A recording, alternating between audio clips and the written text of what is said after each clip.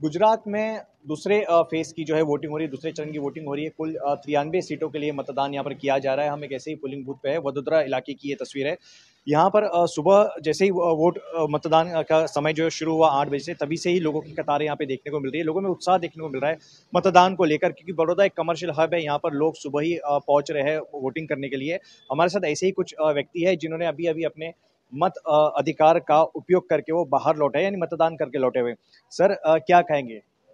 अगली सरकार जो जो आएगी उसके लिए आपने मतदान किया है। हाँ तो मैं तो ये चाहूँगा कि सरकार जो है कि सरकारी नौकरियाँ दे क्योंकि बहुत सालों से सरकारी नौकरियों में कुछ ये नहीं हो रहा है। और दूसरा ये है कि कॉन्ट्रैक्ट पठा को निकाल हाँ आप सीनियर सिटीजन हो काफ़ी लंबे समय से आपने देखा हुआ है गुजरात को। सत्ताईस साल से यहाँ पे एक ही पार्टी है तो क्या वापस से मौका देना चाहिए परिवर्तन चाहते हो? नहीं नहीं ऐसा ही अपने लिए सब कुछ अच्छा है। अपने दिल से मतदान देने का, अपना फ़र्ज़ रहता है, वो अपना करने का, वो अभी जो कुछ भी है, वो अपन कुछ अपने नसीब में जो है, वो तो मिलने वाला ही है, वो कोई छीनने वाला नहीं है। इसके लिए मतदान ज़रूरी है। मतदान ज़रूरी है, क्योंकि पहले फ़ेज़ में जिस तरीके से वोटिंग हुई थी पाँच प्रतिशत जो है करीब चार से पाँच प्रतिशत पहले 2017 में जो वोटिंग हुई थी उससे कम थे इसलिए लोग यहाँ भी कह रहे हैं कि ज़्यादा से ज़्यादा बाहर निकलिए और मतदान कीजिए। यहाँ पे महिलाएँ भी हैं उनसे बात करते हैं। मैम आप वोट दे के निकलिए क्या कहेंगे? वो अच्छा लगा है। क्या कुछ मुद्दे थे आपके जहन में? आपने वोट दिया तो। से भाजपा सरकार आ गई मुद्दे मुद्दे मुद्दे क्या थे? मुद्दे तो कुछ नहीं वो करते हैं विकास सब कुछ करते हैं इसलिए। तो हर किसी की अपनी अपनी चॉइस है। यहाँ पे और भी लोगों से बात करते हैं। सर आपने वोट डाल के निकले क्या मुद्दे हैं आपके जहन में जो आपने वोट डाला? है मुद्दे विकास के लिए जो काम करती है सरकार उसके लिए हम यानी वोट देना चाहिए जनता को। और वोट देना हमारा अधिकार है। और जनता को हर एक जनता को वोट देना चाहिए।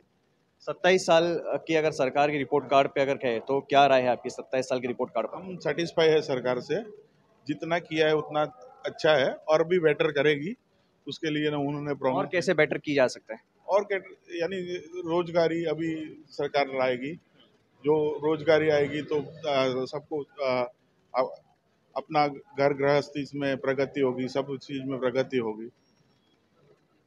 तो अलग अलग मुद्दे हैं लोगों के। यहाँ पर आप देख सकते हैं लोगों की लंबी कतार देखने को मिल रही है।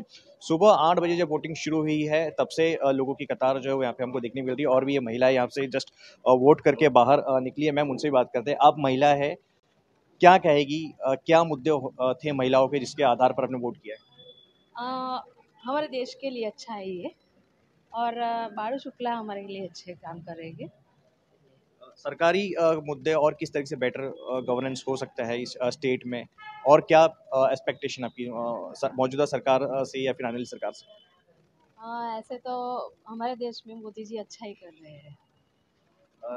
यहाँ पर यहाँ पर अलग अलग वोटिंग क्रमांक जो है बूथ क्रमांक यहाँ पे बनाए गए हैं और जब से सुबह का समय शुरू हुआ है आठ बजे का तब से यहाँ पे लोगों की कतारें यहाँ पे देखने को मिल रही है, जो मतदान करने के लिए यहाँ पर पहुँचे हुए वडोदरा की अगर बात करें तो यहाँ की जो वोटिंग पैटर्न वो कुछ इस प्रकार है कि लोग सुबह ही निकलते हैं अपने काम अपने वोट करने के लिए क्योंकि उनको काम पे जाना होता जाना होता है।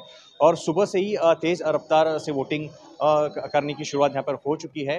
पाँच बजे तक ये मतदान वो इसी तरीके से यहाँ पर किया जाएगा। कैमरा भारती के साथ हमको Jaiswal, news twenty four, Vadodara. नमस्कार, मैं हूँ मानक गुप्ता।